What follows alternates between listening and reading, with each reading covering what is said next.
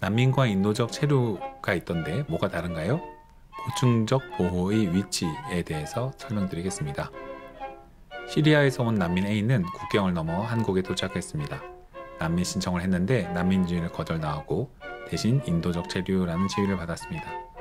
지난 영상에서 보셨듯 대부분의 시리아 난민들은 난민 지위가 확인되어야 하는데 전쟁 난민은 난민 협약에 정한 난민이 아니다 라는 잘못된 개변으로 난민지위가 한국에서 거절되곤 합니다. 그럼 인도적 체류라는 것은 무엇일까요?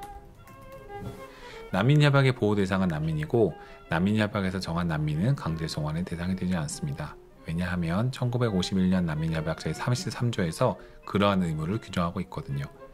그런데 강제 송환 금지 원칙은 세계 인권 선언을 구체화한 양대 조약 중 하나인 1966년 시민적 정치적 권리에 관한 규약 A 규약 자유권 규약이라고도 하죠. 7조에도 있고요.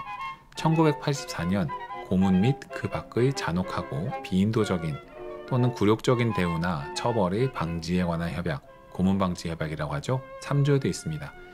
지역 인권 협약인 유럽 인권 협약 제3조도 이를 규정하고 있다고 해석합니다. 아예 조약에 가입하지 않은 나라도 구속하는 국제관습법이기도 합니다. 이렇게 말씀드린 이유는 각 국가가 송환하지 않고 보호해야 하는 난민들, 강제 송환 금지 의무를 부담하는 난민들은 난민협약에 정한 난민 외에도 있기 때문입니다. 통상적으로 설명하는 난민들은 대부분 난민협약을 통해 보호받게 되지만 그렇지 않을 경우도 있습니다. 예를 들어 고문방지 협약을 생각해 볼까요? 난민에게 미래의 박해 위험이 분명한데 난민의 협약에 5대 사유와 관련성이 거의 없다고 보이는 경우 그런데 미래의 박해 위험 형태가 고문 등 잔혹한 처우에 해당하는 경우들을 그 예로 들 수 있습니다.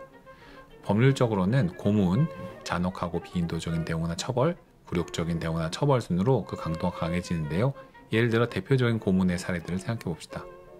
송환되면 어떤 사람이 특정한 정부로부터 고문, 구타, 벌거벗은 채 철제 침대에 묶여 전기 충격을 당한 것, 담배 불로 지지기, 수갑 등의 연장 착용, 피, 소변, 배설물 등 혼합물의 지속적인 투입, 나체로 오랜 기간 동안 서 있게 하기, 사형 집행의 시뮬레이션을 당할 경우 이러면 될까요? 박해가 금지되듯 고문도 금지되기 때문에 송환하면 안 되고 보호됩니다. 정부가 아니더라도 갱단, 범죄 조직으로부터의 고문 등의 위험이 있는 난민 같은 경우도 그렇죠.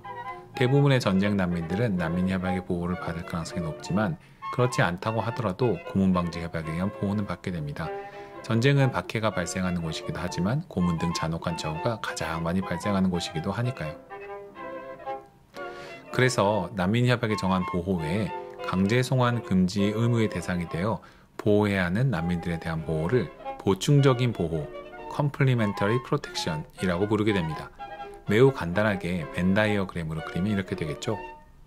그러한 보충적 보호를 한국의 난민법에서는 인도적 체류라고 규정해 놓은 것입니다. 약간의 차이가 있긴 하지만 한국에서도 어떤 난민으로 보호를 원한다고 신청하면 난민인지를 검토하고 그렇지 않으면 인도적 체류를 검토하고 그렇지 않으면 아무런 지위도 부여하지 않게 됩니다. 난민협약의 보호를 받는 난민과 기타 인권협약에 의한 보충적 보호를 받는 난민들의 권리는 차이가 있을까요? 송환에서는 안 되는 난민, 난민협약 또는 기타 인권협약의 범위는 같지만 구체적으로 얻는 권리들은 나라마다 별도로 달리 규정해 놓고 있습니다. 하지만 약간씩 차이가 있긴 하지만 근본적으로는 큰 차이를 둘 수 없습니다. 왜냐하면 박해를 당하면 안 되기에 함께 살아갈 난민, 고문 등 잔혹한 처우를 당하면 안 되기에 함께 살아갈 난민 모두 같이 사회 구성원으로 정착하고 살아가야 할 사람들임에는 아무런 차이가 없기 때문입니다. 대부분의 나라에서 사회보장적 권리, 영주 및 귀화에 관한 절차 등에 대해 두 그룹을 유사하게 정해놓고 있습니다. 그러나 한국은요, 한국의 인도적 체류지위는 이상하게도 단지 송환하지 않겠다는 것에 그치고 아무런 권리가 없습니다.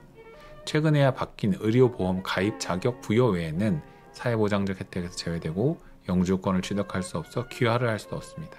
난민과 달리 여행증명서도 가족 초청의 권리도 없습니다. 일할 수 있는 자격도 단순 노무업만으로 제한됩니다.